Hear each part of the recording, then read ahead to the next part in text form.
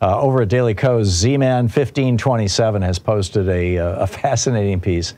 Uh, Medicare Advantage, pros and cons, understanding your choices. You're probably, you know, if you're alive and you're watching television, you're seeing ads for Medicare Advantage. Medicare Advantage is a scam. It is private health insurance. When you sign up for Medicare Advantage, you are giving up real Medicare. You're just leaving it all together. And the Medicare Advantage companies then will insert themselves between you and your doctor, between you and your hospital, between you and your radiologist, between you and your lab, between you and you know any medical procedure and decide whether or not they will pay for it. I had a caller yesterday who said, "Well, the law says that Medicare Advantage providers have to cover everything Medicare covers." Well, yeah, they have to, except they don't have to pay for it. They just have to consider paying for it. Seriously. This is uh, from NBC News, right? Key passages from NBC News.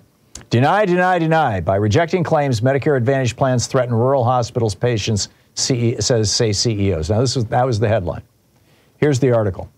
Medicare from NBC News. Medicare Advantage plans are, quote, taking over Medicare and taking advantage of elderly patients, says the CEO of one Mississippi facility. Even worse, because the plans routinely deny coverage for necessary care, they are threatening the existence of struggling rural hospitals nationwide, the CEOs of facilities in six states told NBC News. While the number of older Americans who rely on Medicare Advantage in rural areas continues to rise, these denials force the hospitals to eat the increasing cost of care, causing some to close operations and leave residents without any access to treatment.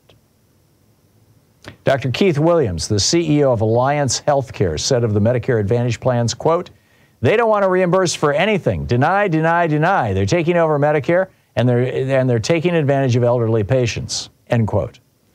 Williams is, uh, this Dr. Williams is something of a local hero in Holly Springs. Um, he, he, uh, when the area hospital was in danger of closing in 1999, he marshaled resources and bought it to keep it open. Alliance serves a county of only 38,000 people. Still, this spring he had to shut down a longtime geriatric psychiatry program that had served the community for over eight years. Why did he have to shut down the long term geriatric psychiatry program? Because of coverage denials from Medicare Advantage plans, Williams said. Quote, they killed the program. By the way, in 2024, next year, they've just announced this, uh, the Centers for Medicare and Medicaid will pay brokers a commission of between 611 and $762 for the first year of a Medicare Advantage plan. Now, I don't understand why are my tax dollars paying commissions to Medicare Advantage brokers? $762?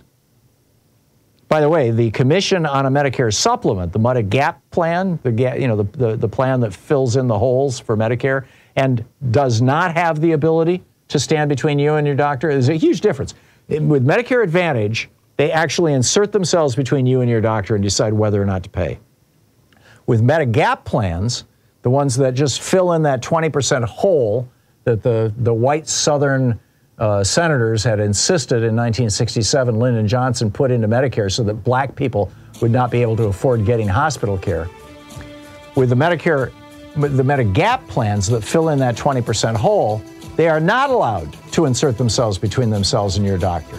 They may not, they, don't do preclearance. If, you, if your doctor says you need a procedure and you have real Medicare with a Medigap plan, the Medigap plan does not have the power to say, no, we won't pay for it. Medicare Advantage, that's all they do.